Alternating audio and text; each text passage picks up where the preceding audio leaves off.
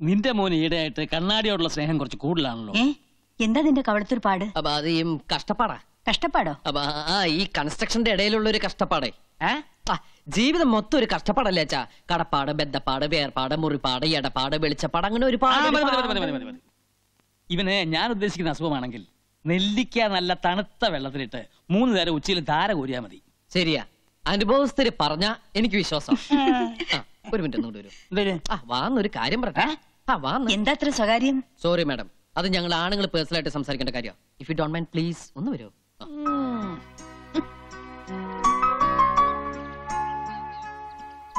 അച്ഛൻ സംശയിച്ചത് ശരിയാ. എനിക്കെന്തോ പറ്റിയിട്ടുണ്ട്. ദാ ഇപ്പൊ തന്നെ. കണ്ണാടിയിൽ എത്ര നോക്കിയിട്ട് മതി വരാതിരിക്കുക. ഇട്ട ഡ്രസ് പോരാന്ന് തോന്നുക. മുടി ചീകിട്ടും ചീകിട്ടും തൃപ്തി വരാതിരിക്കുക. ഇതൊക്കെ എന്തിന്റെ ലക്ഷണങ്ങളാ അച്ഛാ? അത് ഞാൻ നേരത്തെ പറഞ്ഞല്ലോ. എന്ത്? പ്രാന്ത്. അതെ. ഈ പ്രേമവും ഒരു തരം പ്രാന്ത് തന്നെയല്ലേ അച്ഛാ? ഏ? ദാ.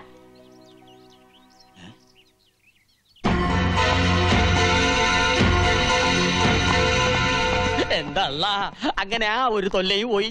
എന്തൊരു ബഹളമായിരുന്നു. തലവെട്ടിക്കളയും കുടലെടുത്തുകളെയും ഇപ്പതേ കണ്ടില്ലേ മതയാനെ ബലങ്ക് വെച്ച് കൊണ്ടുപോണ പോലെ കൊണ്ടുപോകണം നമ്മുടെ അളിയനെ. എന്റെ കുഞ്ഞുമ്മക്ക പട്ടി ഏറ് വാങ്ങാനും മനുഷ്യന്റെ തലയിലെത്ത് നേരെ ആവാനും അധികം സമയം വേണ്ട. എന്തായാലും കുഞ്ഞുമ്മക്ക് രക്ഷപ്പെട്ടു. ഓ അലങ്കാരത്തിനാണെങ്കിലും കഴുത്തിന് മേലെ സ്വന്തമായിട്ടൊരു തല ഉണ്ടാവുമല്ലോ.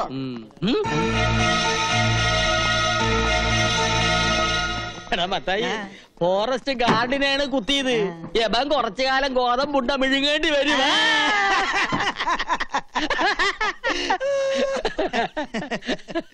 നോക്കൾ നിന്നെയാണ് നോക്കണല്ല കുഞ്ഞുമ്മക്കാനെ. അല്ല നിന്നെ കുഞ്ഞുമ്മക്കാനെ. നിന്നെയാണ് വിളിക്കണത്. അല്ല കുഞ്ഞുമ്മക്കാനെ. ആണോ? അപ്പൊ, അങ്ങോട്ട് ചെല്ല്. എന്തിനാ പേടിക്കണത്? ധൈര്യമായിട്ടിരിക്കി. കയ്യിൽ വിലങ്ങ്. കൂടെ പോലീസുകാര്. ദേ അളിയന്റെ മുമ്പിൽ നെഞ്ചു വിരിച്ച് നിൽക്കാൻ ഇതുപോലെ ഒരു അവസരം ഇനി കിട്ടിയെന്ന് വരില്ല. ധൈര്യമായിട്ട് ചെല്ല്. കൂടെ ഞാനുണ്ടെന്നേ. ഹ, ഞാനുണ്ടെന്ന് പറഞ്ഞില്ലേ? ചെല്ല്. ഉം. ഞാൻ തന്നെ എന്താണ്ടാ? തൽക്കാലം ഞാൻ പോണു. ഉം. തിരിച്ചു വരുമ്പോ ഞാനും ഓളുമായിട്ടുള്ള നിക്കാഹ് നടക്കണം. അതിനുള്ളിൽ അവനെ ഇവിടുന്ന് അടിച്ചു ഓടിച്ചില്ലെങ്കിൽ വയ്യത്തായ വയ്യത്തായന്റെ ബാപ്പയാണ് സത്യം. തന്റെ കുടൽ ഞാൻ എടുക്കും കുഞ്ഞുമ്മക്ക പേടിക്കണ്ട. ധൈര്യമായിട്ടിരുന്നോ? ജമാലല്ലേ പറഞ്ഞത്. അവൻ ചെയ്തിരിക്കും. ഉമ്മക്ക് അനുഭവമുള്ളതാണ് പ്രേമം എന്ന് പറഞ്ഞ പെരുമ്പാമ്പ് മാതിരിയാണ്.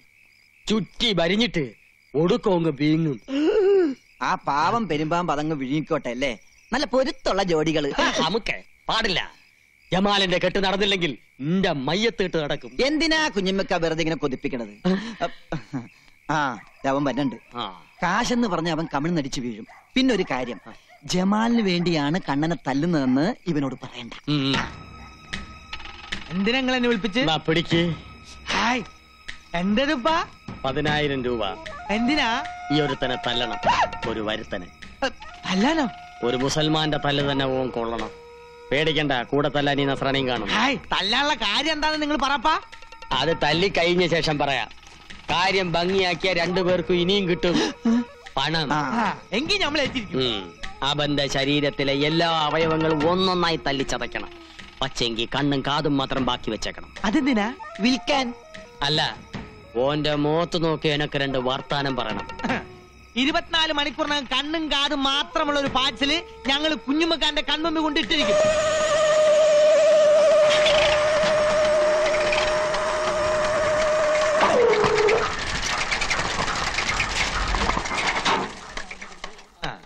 Hello hello hello hello.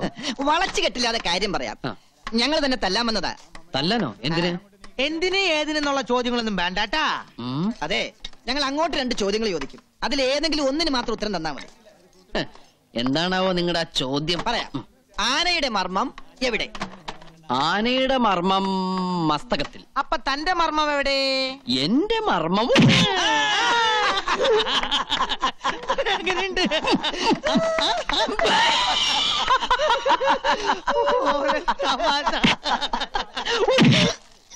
ഇതെങ്ങനെയുണ്ട് എങ്ങനെയുണ്ട്? ആ. കൊള്ളാം.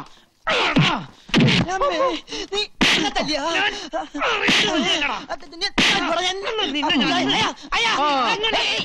നിലത്തെടുത്ത്, നിലത്തെടുത്ത്, നിലത്തെടുത്ത്. ഇതെന്താ കാവടിയാട്ടോ ഹലോ എന്റെ ബാപ്പ പണ്ടൊരു കാവടിയാട്ടക്കാരനായിരുന്നു ഇവരൊന്നും കൊല്ലും. നിലത്ത് നിർത്താനല്ല എന്നിട്ടിരിക്കെ എന്താ നിങ്ങളുടെ പ്രശ്നം ഞങ്ങൾ രണ്ടുപേരും കൂടി ഒരാളെ തല്ലാൻ വിട്ട് എന്നിട്ട് പരസ്പരം തല്ല ശരിയാളാ വളരെ മോശമല്ലേ പൈസ വാങ്ങിയ തീർച്ചയായും തല്ലണ്ട തല്ലണം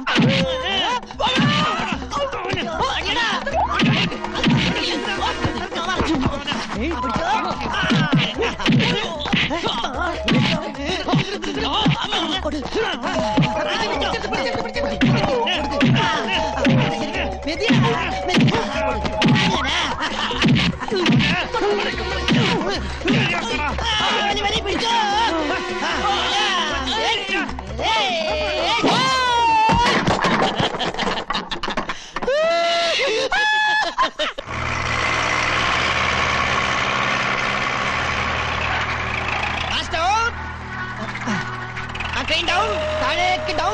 പോട്ടെ പോട്ടെ.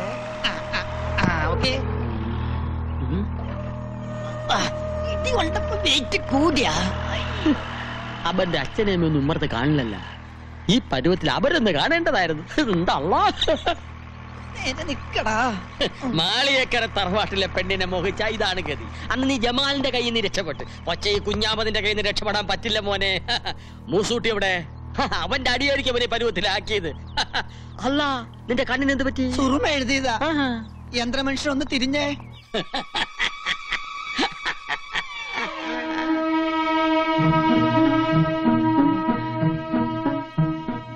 നീയാ?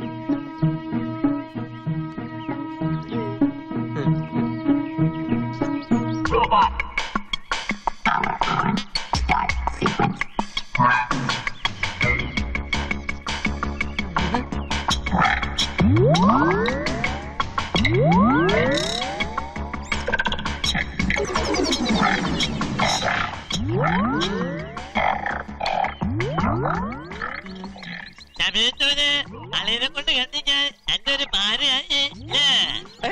എന്ത് പാര പതിനായിരം രൂപ നമ്മുടെ നെണ്ണി മേടിക്കുമ്പോ നീ ഓർക്കണായിരുന്നു എല്ലടാ സാക്ഷി. അതെ ഞാൻ ഇനി പലതിനും സാക്ഷിയാകേണ്ടി വരും. എന്റെ എല്ലാ അവയവങ്ങളും അവന് തന്നെ കണ്ണും കാതും മാത്രം ബാക്കി വെച്ചു അല്ലേ? അല്ല ഈ ഒരു കൂടി മാറ്റി വെച്ചു. ഇതെന്തിനാണ്? അടാ മൂസൂട്ടി അന്റെ അടി നമുക്ക് വെറും തൂവൽ സ്പർശാണ്.